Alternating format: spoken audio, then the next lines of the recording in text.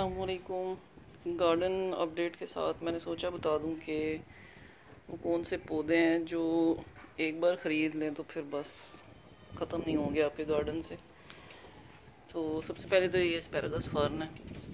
इसको इतनी बार मैं डिवाइड करके लगा चुकी हूँ। इस वक्त इधर के दो पॉट्स में लगी हुई है और मेरी बैल्कनी वाली साइड पे हैंगिंग पॉट्स में काफ़ी लगी हुई है और ये काफ़ी घनी भी है इस वक्त। और इस पर बल्कि फ्लावरिंग भी हो रही है। तो ये बढ़ता ही रहता है अगर आप इसको टेम्परेचर अच्छा प्रोवाइड करते हैं। मतलब शेड में रखा हुआ है और वाटरिंग इसकी डेली होती है। एक बार ये चल जाए तो बस फिर इसको डिवाइड करके आप इसको डिफरेंट पॉट्स में लगाते रहें, चलता रहेगा यूँ ही। और सेकेंड ये आपको नज़र आ रहा होगा स्पाइडर प्लांट का बेबी पप मैंने। उसकी, ये देखें रनर समेत मैंने उसको उसमें लगा दिया, अलग नहीं किया अभी। जब इसकी रूट्स डेवलप हो जाएँगी तो फिर इसको कट कर दूँगी। इसी तरह ही मैंने इनको पॉट्स में लगा दिए। ये भी एक बार प्लांट ख़रीद लें तो फिर ये जाएगा कहीं नहीं। इसके रनर्स निकलते रहते हैं, जिस पे बेबी प्लांट्स बनते रहते हैं। जैसा कि ये। इसी तो ऐसे खुद भी रूट्स डेवलप होना शुरू हो जाती हैं। इसको कट करके आप लगा सकते हैं पॉट्स में भी थोड़ी और मेच्योर हो जाएँगी रूट्स तो फिर। फिर आता जी हमारा स्नेक प्लांट बेस्ट प्लांट ये इसके पप्स निकल रहे हैं। आपको नज़र आ रहे होंगे, ये इसके पप्स निकल रहे हैं। ये निकल रहा है, ये है।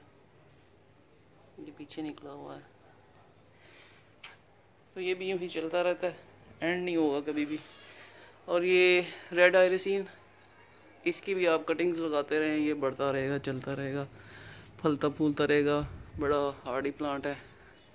इसको हैंगिंग बास्केट्स में लगाएँ पॉट्स में लगाएँ। बेस्ट लगता है। अच्छा जी, उसके बाद काफ़ी सारे और प्लांट्स हैं, जिनमें से एक तो ये है वॉन्डरिंग जू ये देख लें मेरे कितने पॉट्स में लगी हुई है। इसके अलावा मैंने इसको इंडोर भी लगाया हुआ है, और ये बेस्ट चलता है इंडोर भी। जब चाहे इसकी कटिंग्स लगाए, अभी भी रात को हवा चलने की वजह से इसके कुछ ब्रांचेस टूट के गिरी हुई थी, वो मैंने लगा दी हैं। तो दिखा देती हूँ मैं कि मैंने किसमें लगाई हैं।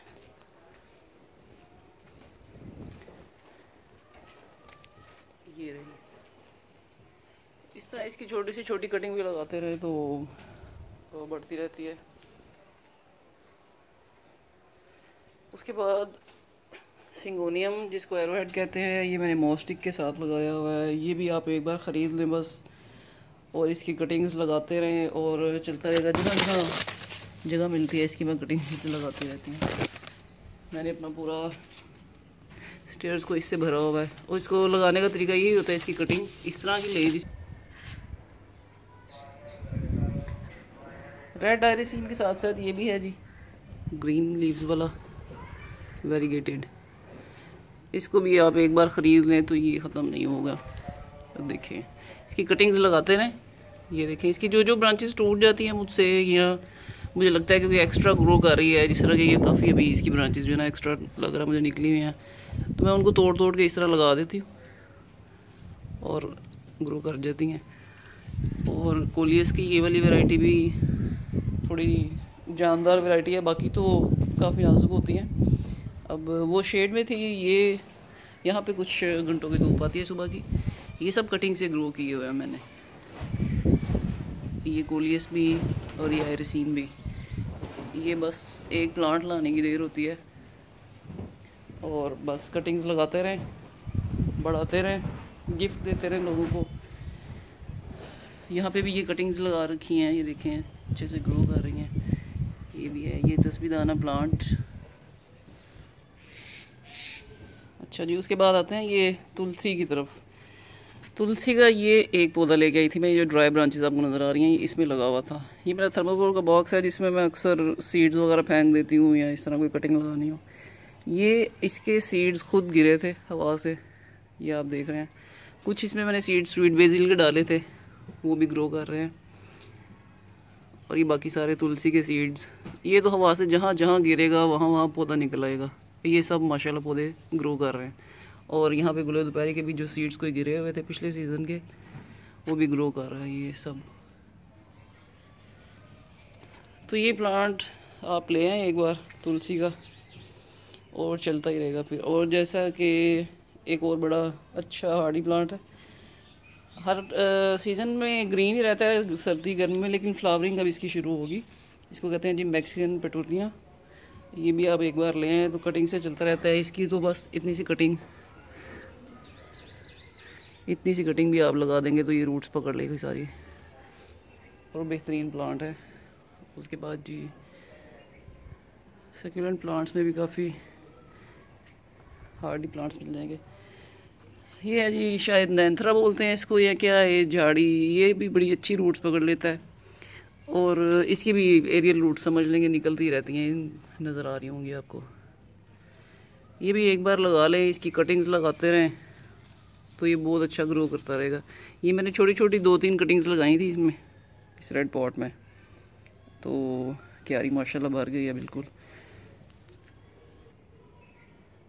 और ये वो प्लांट्स हैं जिनकी सीड्स जब पक जाते हैं तो हवा से ही इधर उधर गिर जाते हैं।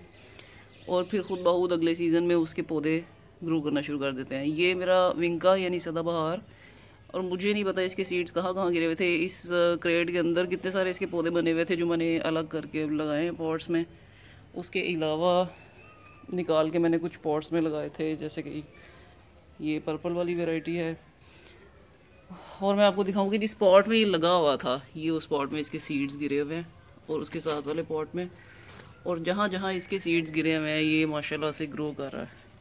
तो सदाबहार का एक बार ले आए पौधा। तो चलता रहेगा इन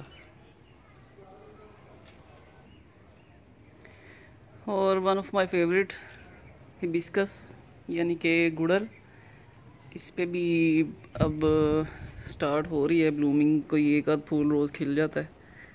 देखें, इसकी बर्ड्स लगी हुई हैं बहुत सारी। अब इसका सीज़न शुरू है फ्लावरिंग ये इसी सीज़न में करता है, लेकिन हार्डी प्लांट है, कायम रहेगा। कहीं नहीं जाने वाला है और इसके मेडिसिनल इसके बहुत ज़्यादा बेनिफिट्स हैं। तो ये ये वो प्लांट्स हैं जो आप एक बार ख़रीद लेते हैं तो फिर आपको दोबारा ख़रीदने की ज़रूरत नहीं पड़ती। इसकी कटिंग्स बनाते रहें, लगाते रहें और मैंने भी इसकी बेशुमार कटिंग्स बनाकर गिफ्ट भी की हैं, कुछ मेरे पास भी हैं। ये इसकी कटिंग से ही तैयार किया हुआ मैंने। कलमों से तैयार किए हुए पौधे हैं। तो पौधे लगाएँ, माहौल खुशगवार बनाएँ।